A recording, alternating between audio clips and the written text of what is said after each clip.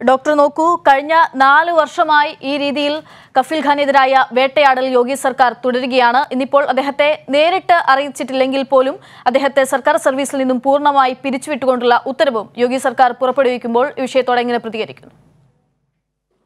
ഇത് തികച്ചും പ്രതിഷേധാർഹമായിട്ടുള്ള ഒരു നടപടിയായിട്ടാണ് ഞാൻ കാണുന്നത്. ഒരു കാര്യം ഒരു രണ്ട് വശങ്ങളുണ്ട്.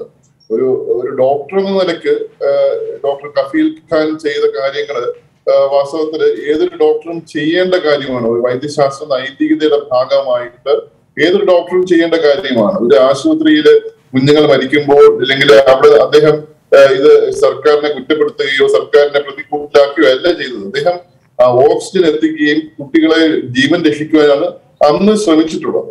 അപ്പോ ബാക്കി ഏഴു പേരെയും ഈ പറയുന്ന അതിനകത്തുള്ള ബാക്കി ഏഴു പേരെയും കുറ്റവിമുക്തമാക്കുകയും എന്ന് മാത്രമല്ല ഡോക്ടർ കഫീൽ ഖാനെതിരെയായിട്ടുള്ള ഈ പറയുന്ന ഒരു അന്വേഷണ കമ്മീഷൻ കോടതി പോലും അലഹാബാദ് കോടതി ഒരു കമ്മീഷൻ ഏർപ്പെടുത്തിയിരുന്നു ആ കമ്മീഷൻ പറഞ്ഞത് അദ്ദേഹം ഈ പറയുന്ന ഒരു ഇങ്ങനെ എന്തെങ്കിലും രീതിയിൽ ഒരു കുറ്റകരമായ കാര്യം ചെയ്തതായിട്ട് കണ്ടെത്തിയില്ല എന്ന് പറഞ്ഞ പറഞ്ഞത് അതിനുശേഷം വീണ്ടും ഈ സർക്കാർ യു പി സർക്കാർ വേറൊരു അന്വേഷണ കമ്മീഷൻ ഏർപ്പെടുത്തുകയാണ്. ചെയ്തത് അതായത് എന്തെങ്കിലും കുറ്റം കണ്ടുപിടിക്കണം എന്നുള്ള വളരെ നിർബന്ധപൂർവമായിട്ടുള്ള ഒരു ധാരണയുടെ പുറത്താണ് അങ്ങനെ ചെയ്യുന്നത്. അത് കഴിഞ്ഞിട്ട് ഈ- രണ്ട് റിപ്പോർട്ടും കഴിഞ്ഞിട്ട് വീണ്ടും അടുത്തത് അദ്ദേഹത്തിനെ വേറെ ഏത് വേറൊരു കേസിൽ ഇതുപോലെ ഏതോ ഒരു സി ഐ പ്രതിഷേധത്തിനകത്ത് അദ്ദേഹം പങ്കെടുത്തിരുന്നു എന്ന് പറഞ്ഞ് വീണ്ടും ഇതുപോലെ നടപടി എടുക്കുകയാണ്.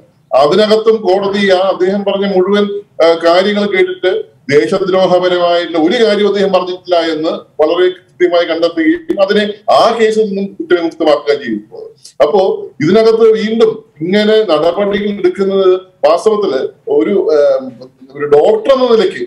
ഞാൻ ആ കാര്യമാണ് ആസിഫ് ആസിഫ് ആദ്യമേ പറയുന്നത് ഒരു ഡോക്ടർ എന്ന നിലയ്ക്ക് വളരെ ദുഃഖം ഉണ്ടാക്കുന്നതാണ് കാരണം ജീവൻ രക്ഷിക്കുവാൻ വേണ്ടിയിട്ട് ഒരു ഡോക്ടർ അതിനകത്ത് ഈ പറയുന്ന മതമോ ജാതിയോ രാഷ്ട്രീയമോ ഒന്നും നോക്കാതെയാണ് നമ്മൾ എപ്പോഴും അത് ചെയ്യേണ്ടത്. അതിനകത്ത് ഒരു ഒരു വ്യത്യസ്തത ഒരിക്കലും കാണിക്ക കാണിക്കില്ല. ഡോക്ടർമാരെ അങ്ങനെ കാണിക്കാൻ ശ്രമിക്കാറില്ല. അപ്പോ അങ്ങനെ ഒരു ഒരു ഒരു- ജീവൻ രക്ഷിക്കുവാൻ എടുത്ത നടപടിയെ വാസ്തവത്തിൽ പ്രകീർത്തിക്കുകയോ ശ്ലാഘിക്കുകയോ ചെയ്യ- ചെയ്- ചെയ്- ചെയ്യാതെ വാസ്തവത്തിൽ അദ്ദേഹത്തിന് എന്തുകൊണ്ടാണ് അതിനകത്ത് ഏത് ഏത് നിലപാടെടുത്തു കഴിഞ്ഞാലും ഏത് നിലവാരത്തിലായാലും ശരി ഇതൊരിക്കലും ന്യായീകരിക്കാൻ കഴിയാത്ത ഒരു നടപടിയായിട്ട് മാത്രമേ എനിക്ക് എനിക്ക് നോക്കി നിൽക്കാൻ കഴിയുകയുള്ളൂ. ഇപ്പൊ രണ്ട് രണ്ടാമത്തെ കാര്യം ഒരു പൗരൻ എന്ന നിലയ്ക്ക് ഞാൻ ഈ ഒരു ഡോക്ടർ എന്ന നിലയ്ക്ക് അദ്ദേഹം ചെയ്ത കാര്യം രണ്ട് ഒരു പൗരൻ എന്ന നിലയ്ക്ക് അദ്ദേഹത്തിന് ലഭിക്കേണ്ട നീതി അതുപോലും ഇതൊരു മനുഷ്യ മനുഷ്യാവകാശ ലംഘനമായിട്ട് വരുന്നത് അവിടെയാണ്. നേരത്തെ പറഞ്ഞ ഡോക്ടർ എന്ന നിലയ്ക്ക് അദ്ദേഹം ചെയ്ത കാര്യങ്ങളെ കുറിച്ച് സർക്കാർ എടുത്ത നിലപാട്. ഇത് സാധാരണ ഒരു മനുഷ്യൻ നിലയ്ക്ക് അദ്ദേഹത്തിന് കിട്ടുന്ന സ്വാഭാവികത സ്വാഭാവികമായ നീതി നിഷേധിക്കലാണ്. വാസ്തവത്തിൽ രണ്ടാമത്തെ ഈ ഈ- ഒരു പിരിച്ചുവിടലൂടെ നടക്കുന്നത്. ഏത് ഏതൊരു സർക്കാർ ഉദ്യോഗസ്ഥനായാലും ആരായാലും ശരി അദ്ദേഹം ആ ജോലിയുടെ ഭാഗമായി ചെയ്യുന്ന കാര്യങ്ങൾ അത് വാസ്തവത്തിൽ ഈ പറയുന്ന അതിനകത്ത് എന്തെങ്കിലും പിഴവുകളുണ്ടെങ്കിൽ സംഭവിക്കും അങ്ങനെ ഒരു പിഴവൊന്നും കണ്ടുപിടിക്കാതെ ഒരു ഒരു അതേ ഇങ്ങനെയാണെങ്കിൽ ഒരു സർക്കാർ ഉദ്യോഗസ്ഥന് എന്ത് കാര്യങ്ങളാണ് ചെയ്യാൻ കഴിയും ഒരു പൗരൻ നിലയ്ക്ക് ഈ സാധാരണ സംഭവങ്ങളിലൊക്കെ എന്ത് കാര്യങ്ങളാണ് പ്രതികരിക്കാൻ കഴിയുക? ഒരു മുഖമായി തന്നെ ഖലീഫ് ഖാൻ മാറുന്നു എന്നുള്ളതാണ്